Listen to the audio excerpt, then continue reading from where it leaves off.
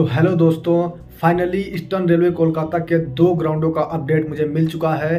Liluah RPF ground 250 metre का होने वाला है तथा मालदा ग्राउंड भी 250 मीटर का होने वाला है।